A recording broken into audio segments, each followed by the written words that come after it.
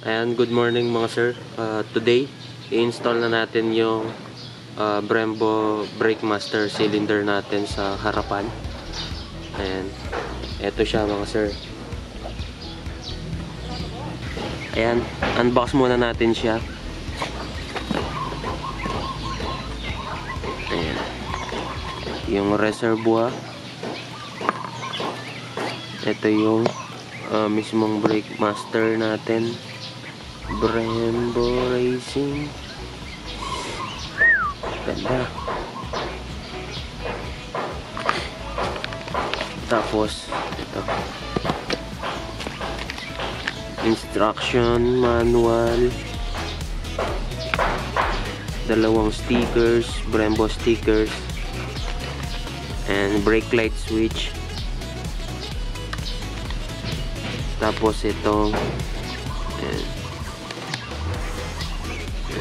yung card mo na Brembo card.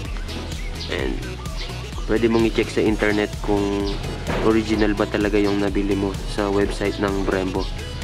Gamit itong card na to mga sir. Ayan. yung akin tinignan ko na siya. Original siya. Tapos ayan. Banjo bolts pero hindi natin gagamitin ito kasi pang 2 uh, calipers to sa harapan. Ayan, dalawang brake hose. Ayan tapos copper washers mga sir. At ang gagamitin kong brake fluid dot 4 ayan dot 4 brake fluid mga sir. Ayan na nabili ko siya ng 286 pesos.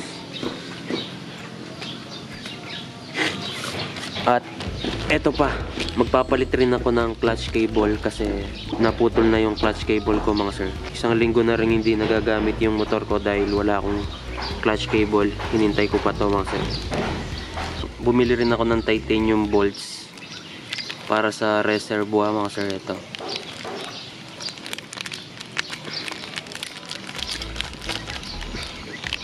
ayan.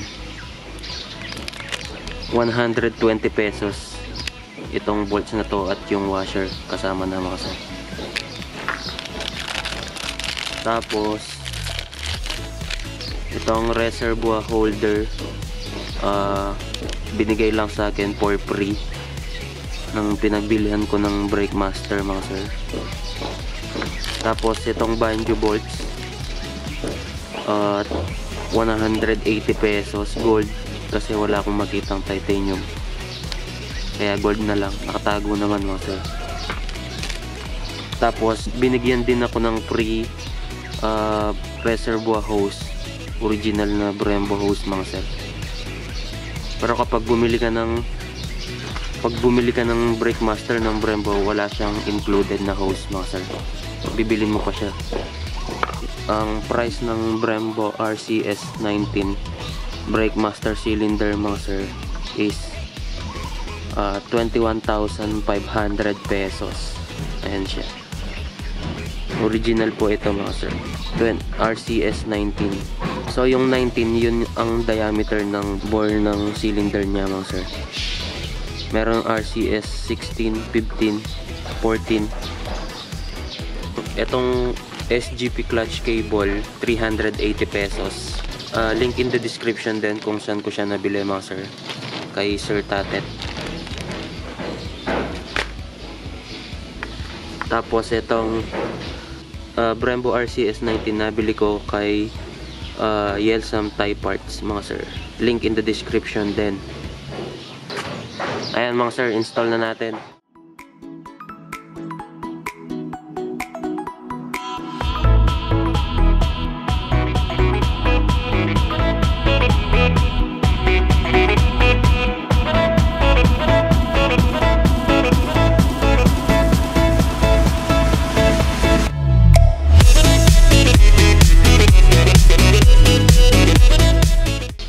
sir, first step, kailangan i-drain muna natin yung lumang fluid natin.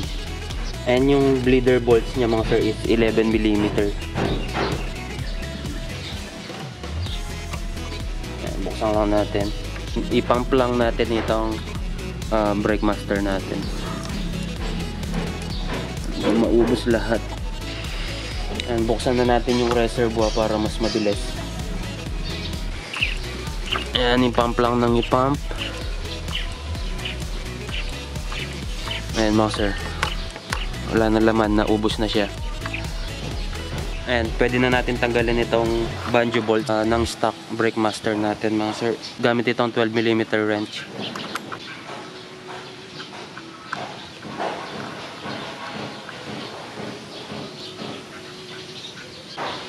Ayan, pwede na natin siyang tanggalin.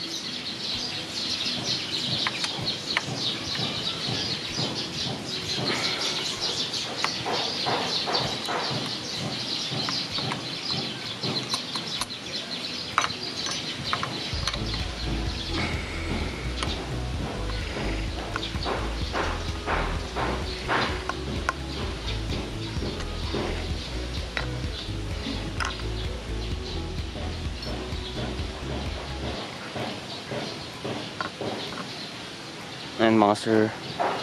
Tapos unplug lang natin yung connection ng brake light switch. Ayan, pwede na natin ilagay itong Brembo natin mga sir. Ilalagay muna natin yung switch.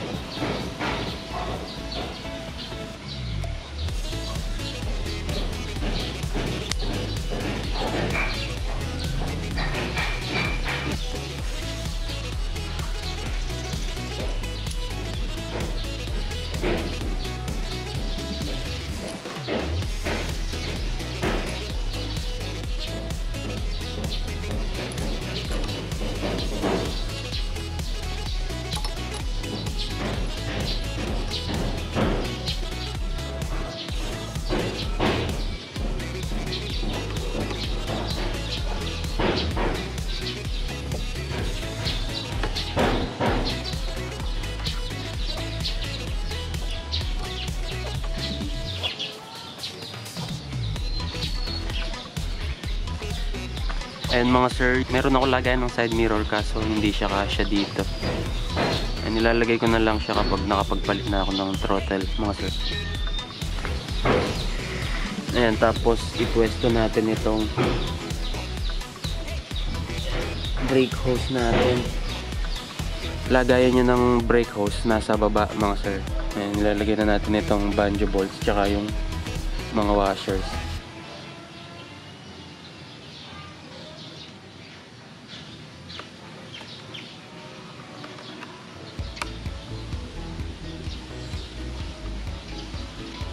And mga sir, pinadaan ko siya sa likod. Dahil yun yung pinakamaganda yung position. I think.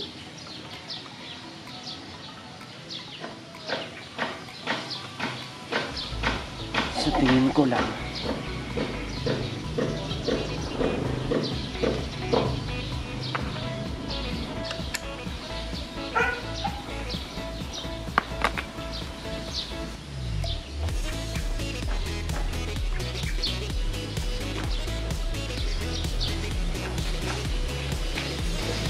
Ayan mga sir, yung pwesto ng hose niya.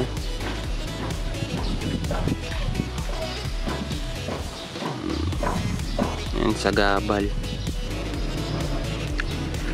Ayan, kapag nakakita ako ng maiksi na hose mga sir, papalitan na lang natin siya. Ayan mga sir, pwede na natin ilagay itong uh, reservoir natin. Ayan, lalagay muna natin yung reservoir holder.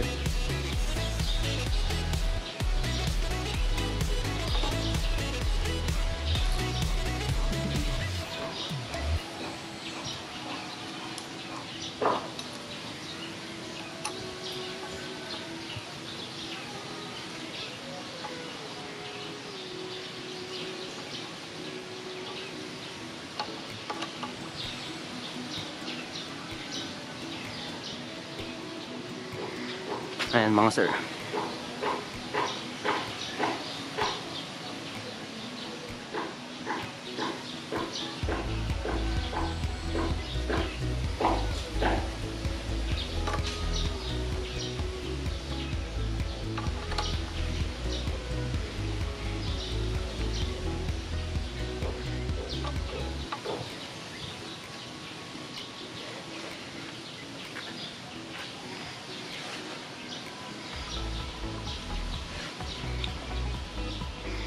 Ayan, tapos yung reservoir na.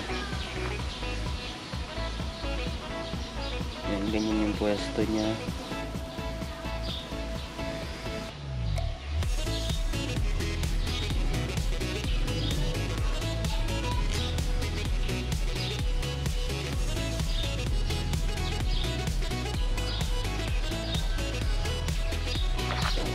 Tapos yung hose mga sir. Isukatan lang natin.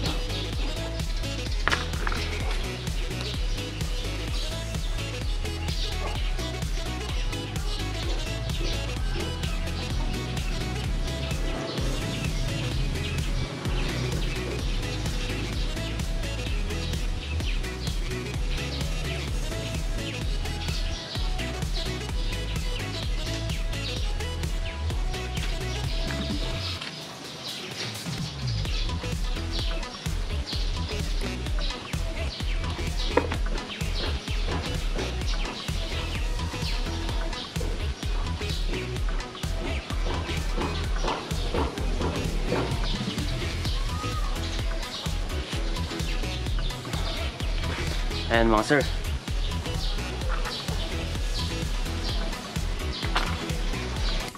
Ayan, pwede na natin higpitan yung reservoir bolts.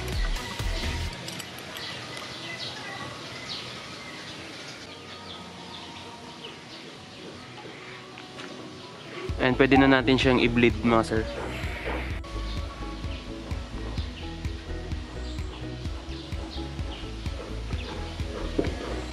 And mga sir, meron na akong tutorial sa pagbi-bleed.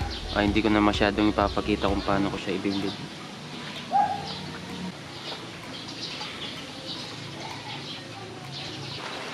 Ayan mga sir, tapatigas na natin. Ayan, lumipat ako ng pwesto kasi umuulan mga sir. Dadagdagan ko na lang siya ng fluid.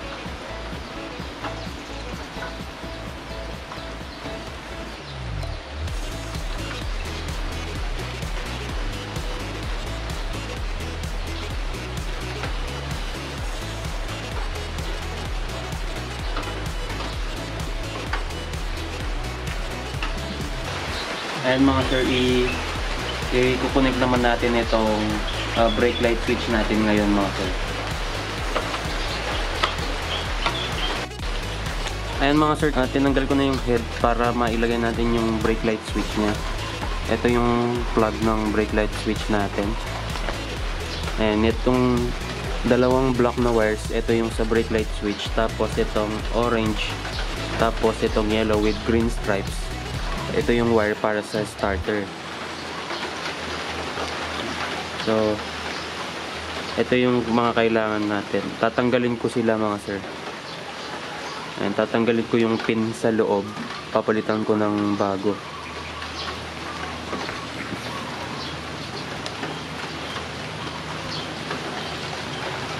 Ayan, meron silang lock na maliit.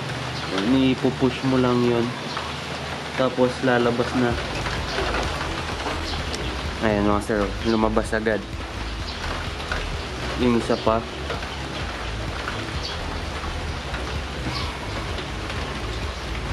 Ayan. Tapos ito yung sa ayan yung sa throttle natin. Dito siya nakakonect tatanggalin ko lang yung zip tie papalitan na lang natin. Tapos pwede na natin hilahin yung dalawang brake light switch.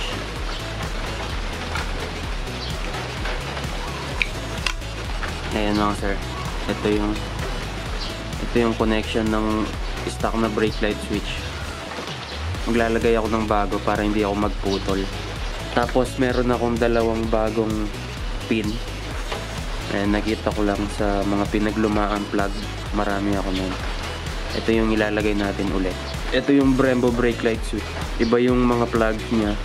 Uh, puputulin ko yan. Tapos ilalagay ko tong mga to mga sir. Tanggalin natin yung balot niya tapos ito and gagayahin natin yung haba ng balot ng stock na wires.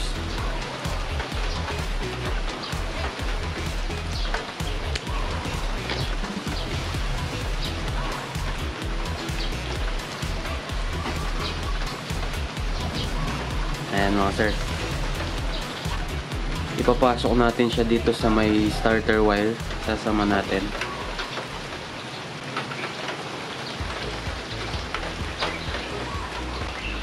Ayan na sila mga sir.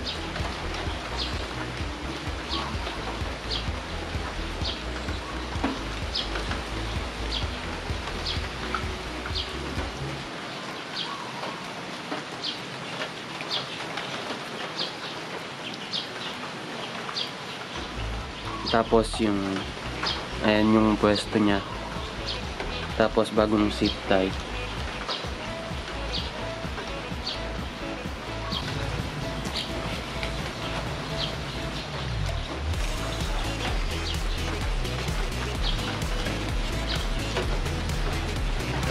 Mga sir.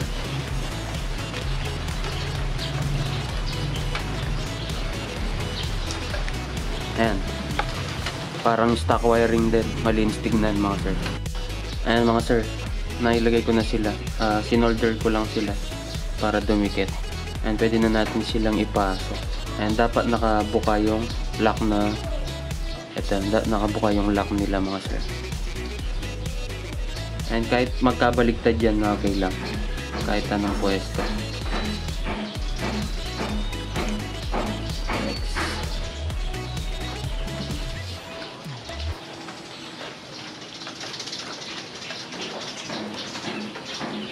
Ayan mga sir. Parang stock wiring lang. Tapos, ganyan lang yan.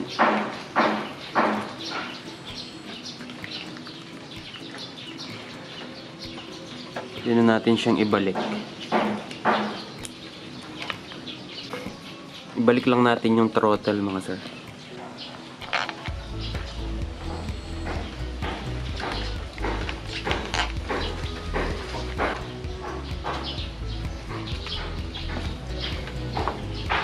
Ilagay na natin itong uh, brake light switch sa Brembo. Madali lang siyang ilagay. I-plug mo lang yung mga pins.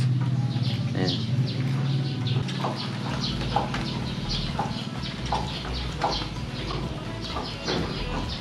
Ayos mga sir. Try muna natin kung maandar. Ayan, maandar siya mga sir. Ayan, so yung ilalagay naman natin ngayon yung clutch cable. Ayan mga sir, dahil putol na yung clutch cable ko. Ayan, pwede mo na hilahin na lang natin siya. Ayan, nawala yung ulo. Tapos itong zip tie, tanggalin natin. Dahil wala akong zip tie, uh, na reserva, hindi natin siya puputulin. Gagamitin natin siya ulit. Tanggal mga sir. And iangat mo lang yung lock na to. Pababa. Tapos dito siya manggagaling, hilahin natin. Papunta doon sa ibaba. Tignan natin kung kailangan pa magtanggal ng mga wire ay ng mga pairings. Ito yung clutch natin mga sir. Try natin hilahin. Kung kaya. Mukhang hindi. Kailangan natin tanggalin itong uh, leg shield natin para matanggal yung clutch cable. And mga sir, ito yung clutch. And try natin hilahin. Ah, ito. Lumabas siya. Tapos 12mm wrench para dito sa adjuster tatanggalin natin.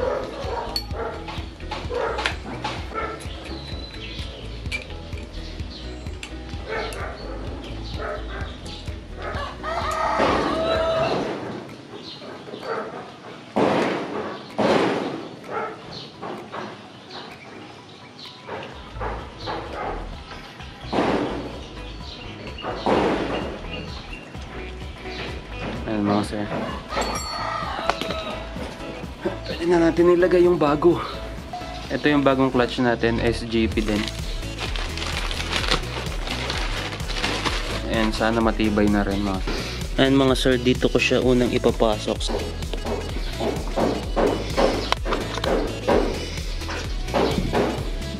Ito na siya mga sir.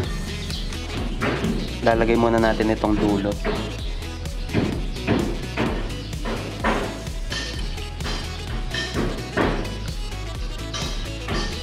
Ayan mga sir.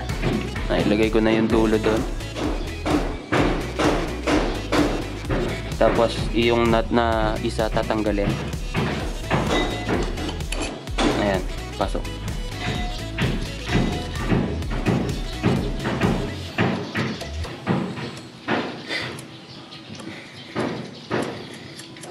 Lalagay muna natin siya hanggang sa dulo.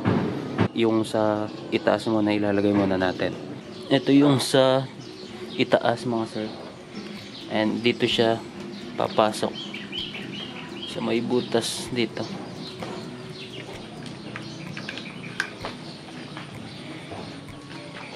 Tapos dito sa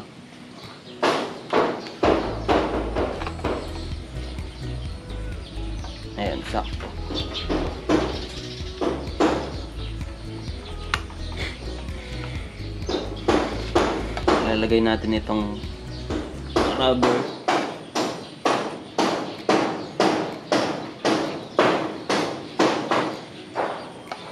Tapos, adjust natin sa pinakababa. Eh, ilalagay muna natin itong ulo ng cable sa lever.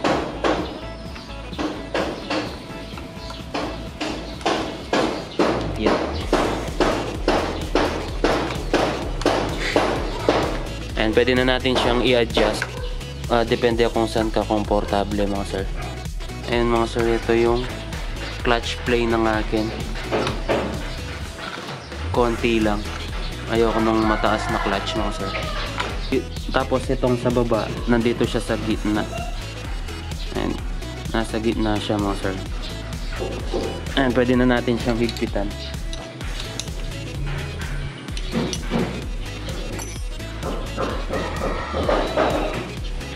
Pwede na natin ilagay ulit yung zip tie natin kanina mga sir.